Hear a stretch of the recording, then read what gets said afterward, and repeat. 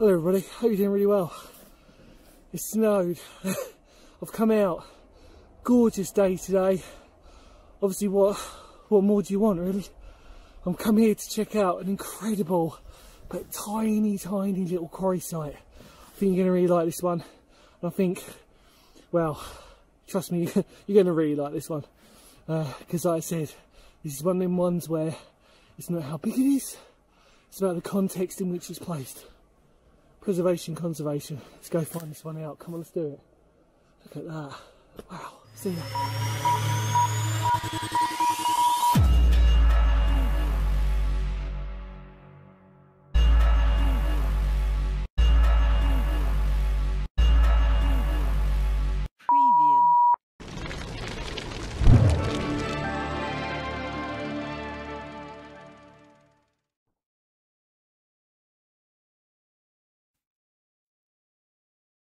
Hollingbourne may be a sleepy village just outside of Maidstone, but what most people don't know is it holds a little gem of history, a lime kiln that was part of a fairly small chalk quarry site.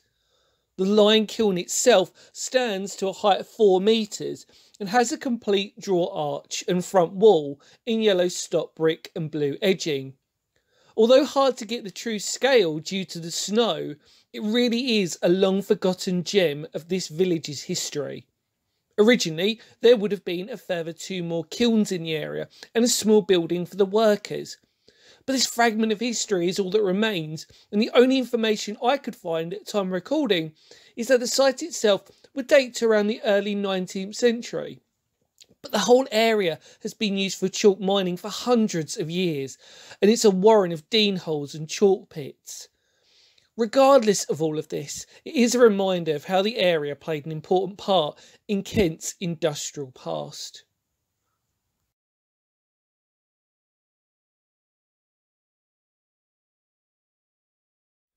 Now it's hard to tell because at the moment you've got to sort of just put this into context. So obviously where we are, yeah, that's the road that splits up the would have split up the two quarry sites or the, the same quarry, but it would have split up into two. Now, if I take you around here, obviously, this is where the kiln is itself. Now, you've had a look in, but we'll have one more look, I think. Let's uh, try and switch you around.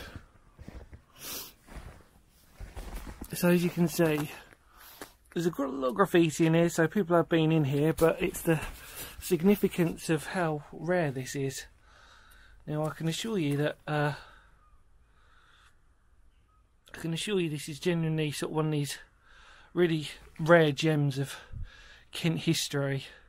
People have been doing God knows what down here, you know. No idea. Look at that. That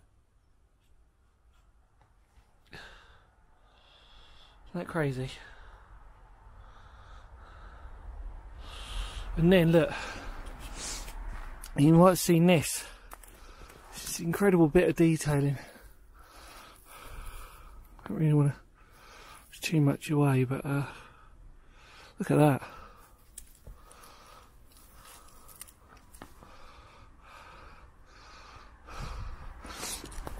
Yeah, so you can see where the road just cuts it. That car just gone there, and we're in this deep sort of depression, but this kiln, the scale of it's huge. Absolutely huge.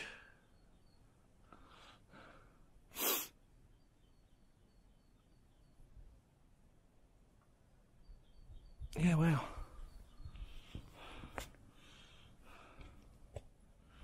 Right, so what I'm going to do now is I'm going to take you up to the top so you can see where they were mining. Pretty cool, right? Let's go have a look.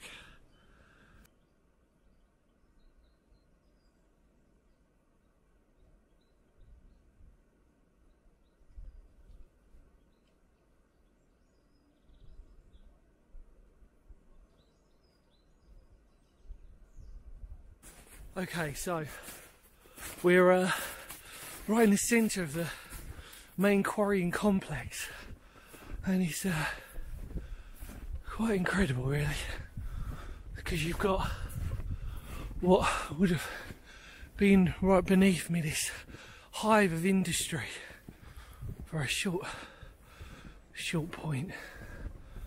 And uh,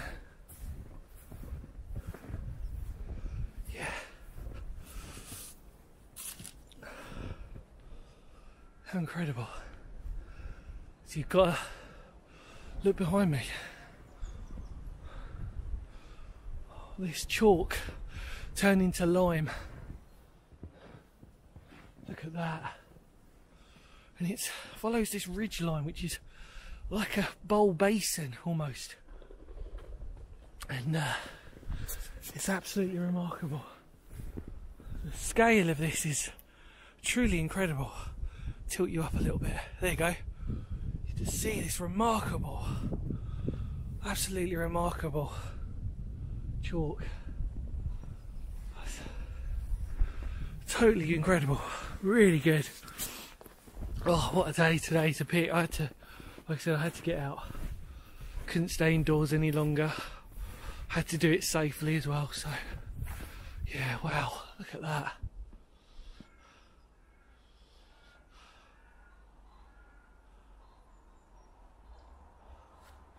Absolutely incredible. So I'm now standing on the, the uh, most dangerous part of the structure. Uh, and it is, it's dangerous because it's in the snow, more importantly. Whoa, feet uh, just sunk, that's not good. Um, so behind me, looking down, it's very hard to sort of tell, but uh, you've got, oh, looking down, that's where I was. So I'm currently literally now, you've got to imagine I'm on top of the kiln and uh, somebody's ring, rung off this, fenced off this bit for a very good reason. Now at first, you'd think there might be a Dane hole or a Dean hole, but I can assure you that I'm pretty sure is part of the chimney for the furnace where the kiln is because because we're standing right on top of the kiln and it is snowing it's very hard to make out but this must be the chimney for what the kiln would have been where we're standing on top of the kiln site because the kiln site here is an amalgam of two different types of kilns or was originally uh, and this must be because it's weird. You sort of think to yourself, "Oh, it looks like a looks like a Dean hole or a Dane hole," and it does go down quite deep. But from from what I'm assuming, it looks like it could just be part of the chimney vent for where the kiln was coming up, because of how high we are up, looking down. I can't really go too far close to the edge because I don't actually know where the edge is. But down there is where the kiln is. So, uh, yeah, standing, standing on top of the kiln. And good job, actually. Somebody had, uh, good job. Somebody's actually marked this out. So, uh, otherwise, you know, then. That crazy? Oh, let's turn you around. Look at that. Amazing bit of history, though. So cool.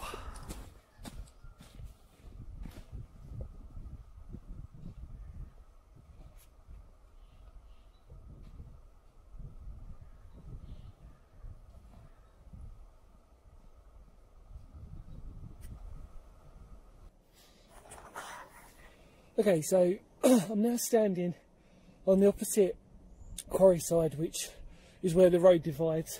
There's nothing here anymore, which is to be expected, but what you can see is the original outline of the ditch that would have been the quarry face or part of the quarry network that would have stretched out even further. It's quite incredible to think, really. But yeah, there you go.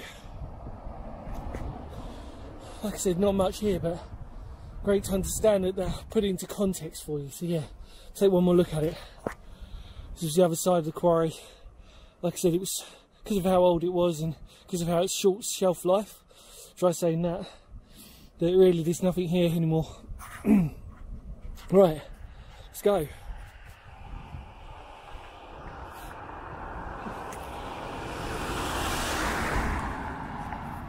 So, just there, they're uh, Limekiln Cottages and Limekiln House. It's called actually. You can there's a sign that actually says it, and I think that that was those were the actual houses used for the workers that were literally opposite. How crazy is that? So, yeah, look, Limekiln Cottages. How cool! Nice little bit of ending of detail. There you go. See? So finally, Brilliant. we're at the road, which is the thing that splits up the two original quarries. The main quarry being on that side, and the tinier one being on this side of the road. But the fact is that road would have still been here. Trying to get in some better light, sorry about that. Uh, the fact of the matter is that the road still would have originally been here, cutting through that both sides of that quarry. All this amazing amount of chalk that's here, because what people seem to don't people seem to forget is that all around this area, it's got the most amount of Dean holes slash Dane holes in all of Kent. Literally, every other. The further you go up to the top, Hollingbourne, the, the uh, more Dane holes or Dean holes you discover. Quite incredible, really. But yeah, it's amazing to sort of know that this whole area was always used for sort of some form of chalk mining or quarrying. Absolutely so, amazing. What a better way to end the video than standing behind the final little quarry pit it was really, uh, which is just here if you can see that. See the whole ridge line, it's very small here and in fact there's a I'll show you this because you know you might like it. Might be a nice little way to end the video. So just here, in fact, I'll flip you around. So around here, there's a wonderful little abandoned shed. Trust me, there's nothing much in it. I'll quickly sort of show you. Really, there's literally nothing in it. Uh, just a couple of doors and no dead bodies, unfortunately, everybody, and loads of beer cans. But we're in the final little quarry, which would have been the first little pit you would have come up to. Yeah.